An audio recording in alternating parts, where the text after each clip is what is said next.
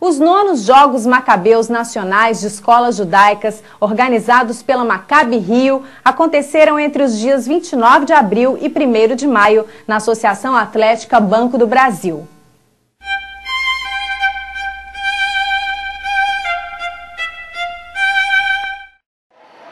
Já em clima de Pan-Americano, mais de 600 atletas de vários estados do Brasil mostraram alegria, garra e espírito esportivo nos três dias das Macabíadas.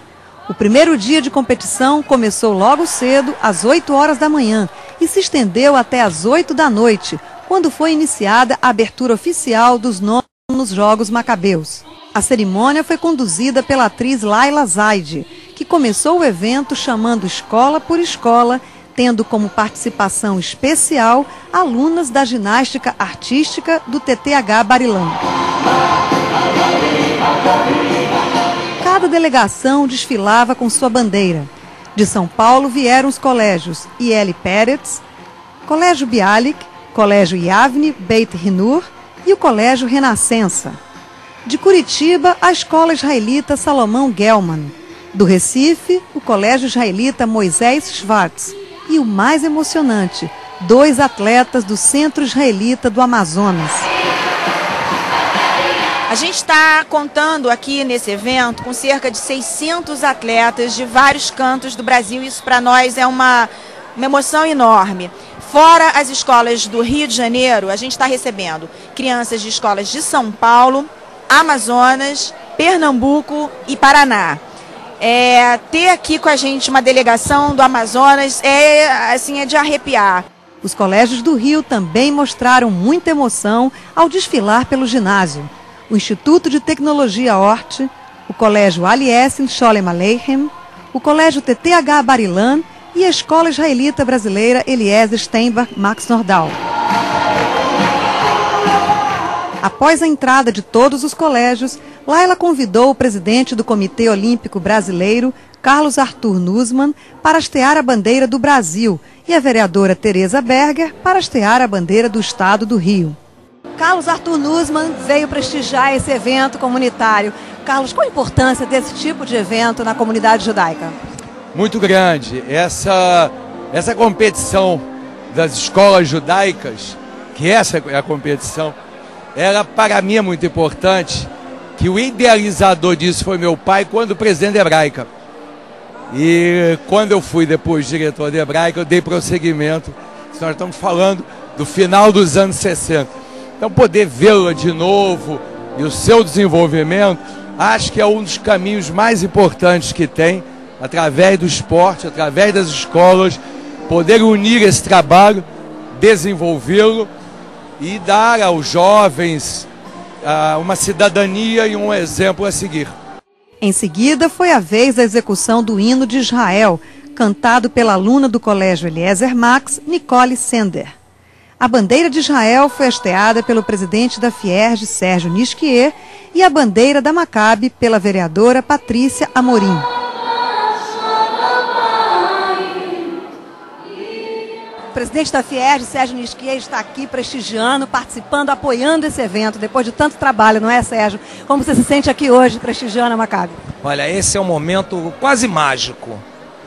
Prestem bem atenção, aqui estão disputando jogos os atletas que vão vestir a camisa verde e amarela nas próximas Macabiadas Pan-Americanas e nas próximas Macabiadas em Israel. É uma geração de atletas judeus que praticam esporte com orgulho azul e branco no coração e com a camisa verde e amarela.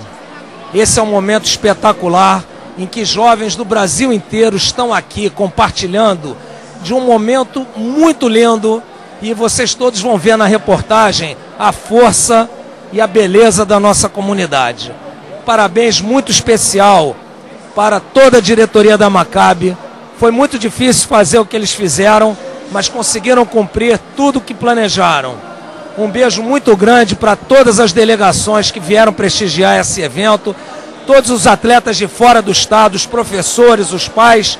Parabéns, parabéns pelo espírito esportivo que está aqui, e especialmente parabéns pelo congraçamento que toda a nossa comunidade está tendo. Atleta Isadora Birman Antonieto da seleção brasileira júnior de nado sincronizado conduziu a tocha olímpica que iluminou os Jogos Macabeus.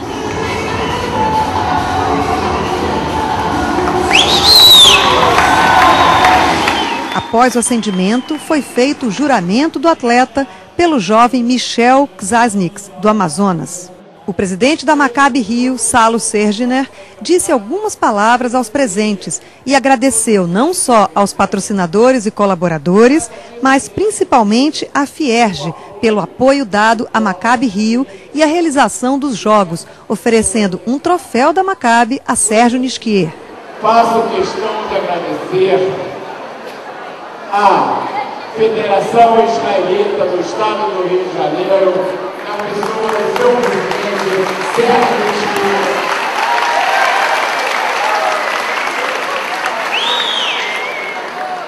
E por falar em Sérgio Mesquita,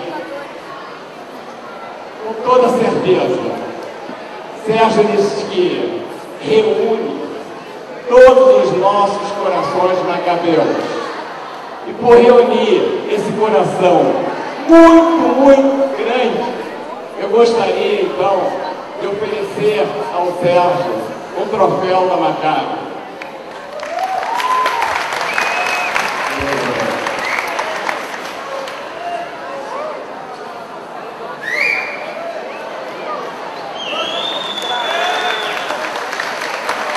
Outros homenageados da noite foram Carlos Arthur Nussmann e Davi Cardeman, veterano militante pelo esporte comunitário no Rio.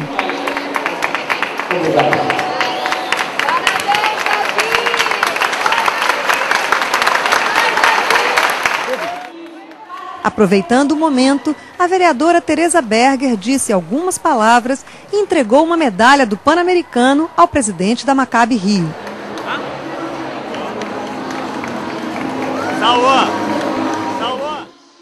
Em seguida, Laila anunciou a apresentação do grupo da Central Única das Favelas, a CUFA, que trouxe para o público shows de dança de rua e basquete.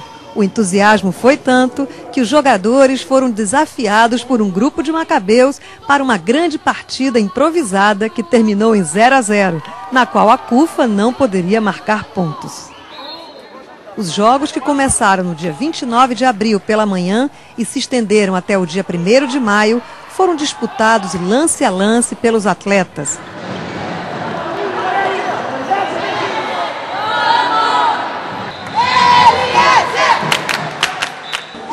Kellner, representante da Federação Israelita de Pernambuco, está aqui no Rio de Janeiro conosco, prestigiando esse grande evento comunitário. Ivan, o que, você está achando dos Jogos Macabeus aqui no Rio? O evento está sensacional.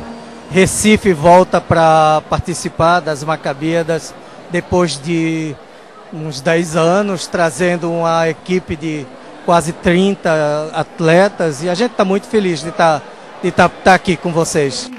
O último dia dos Jogos foi dedicado à premiação dos atletas. Futsal feminino. É sempre uma honra estar presente é, na sede de uma afiliada como o Rio de Janeiro. E o Rio de Janeiro está de parabéns porque foi o Rio que iniciou, através dos seus ex-presidentes, esse trabalho maravilhoso com as crianças. E o importante é estarmos juntos, essa confraternização maravilhosa. A ABB nos recebeu muito bem. E, enfim, nós aqui no Rio sempre sentimos em casa.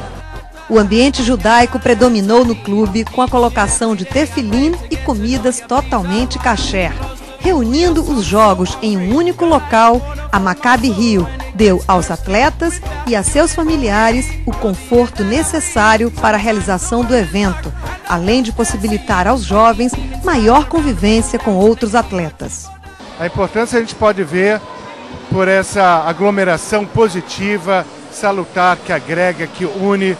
A gente precisa isso, a nossa comunidade, estarmos juntos, unidos e desenvolvermos atividades comuns e o esporte, ele desenvolve não só o nosso corpo, o nosso aspecto físico, mas ele também é uma maneira de juntar, de agregar de modo muito saudável para a garotada. Então, assim, como líder religioso, como rabino, eu tenho orgulho dessa comunidade que propicia esses jogos da Maccabi. A Maccabi Rio, nosso cola nosso parabéns. Each and every day I pray to get to know